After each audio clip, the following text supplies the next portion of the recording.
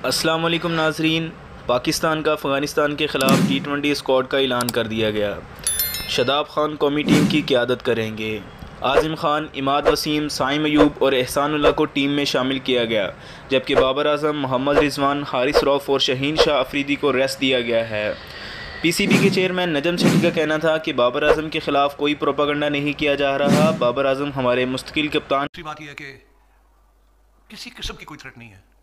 जो हमारा establish captain है, बाबर आज़म ही remains the captain of the Pakistan national squad नाजरीन, दूसरी तरफ़ बाबर आज़म और मोहम्मद रिजवान का कहना था कि उन्हें ये समझ नहीं आ रही कि उन्हें इस सीरीज़ के लिए क्यों रेस्ट दिया गया। नाजरीन, दूसरी तरफ़ रमीज़ राजा और राशिद लतीफ़ भी बाबर आज़म की स्पोर्ट के लिए आवाज़ उठाने लगे। उनका कहना था कि बाबर, शाहीन और शदाब जैसे प्लेयर्स को कप्तानी की जंग के लिए एक दूसरे के ख़िलाफ़ ना किया जाए।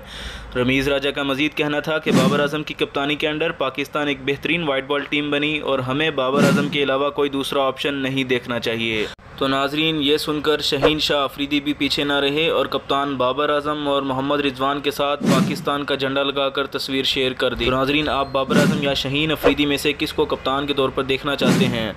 कमेंट सेक्शन में हमें अपनी राय से ज़रूर आगाह करें। मिलते हैं एक नई वीडियो के साथ। तब तक लिए अपना ख्याल रखें। अल्लाह